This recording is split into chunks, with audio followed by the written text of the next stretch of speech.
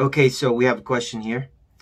And this question is from a lady who made a comment on one of our previous videos about top 10 Ramadan frequently asked questions. And she commented, how about pregnant Muslim woman? And so this video is for her and anyone who can relate to her question.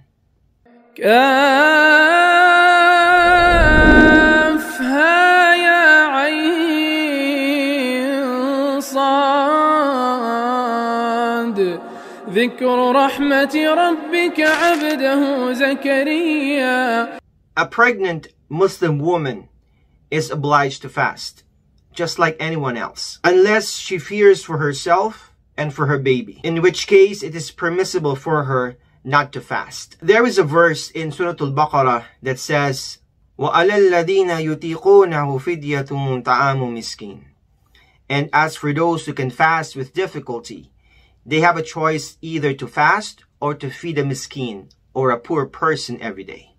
One of the companions, Ibn Abbas, commented on this verse. He said, This was a concession granted to old men and old women who are able to fast, but it is difficult. So they are allowed not to fast and must feed one poor person for each day. And for those who are sick or pregnant, if they fear for their children they are allowed not to fast and must feed one poor person for each day.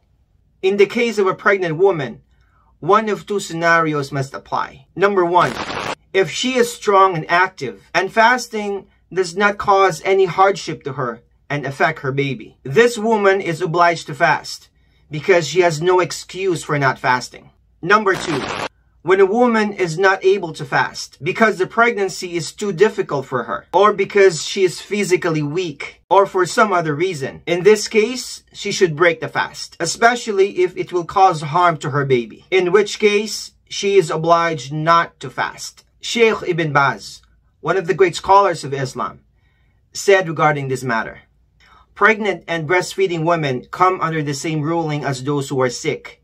If fasting is too difficult for them, it is prescribed for them to break the fast. And they have to make up miss fast when they are able to do so, just as in the case of one who is sick. This is also indicated by the hadith of Anas ibn Malik, according to which the Messenger of Allah وسلم, said, Allah has exempted the traveler from the obligation of fasting and has reduced the prayer by half for him and has exempted pregnant and breastfeeding women from the obligation of fasting. Wallahu a'lam and Allah knows best. Assalamu alaikum. If you're new here, my name is Umar Abdullah, content creator and a student of knowledge. My goal is to share authentic Islamic knowledge in a bite-sized, digestible chunks. If you're loving this content, please give it a thumbs up and consider subscribing if you're new here.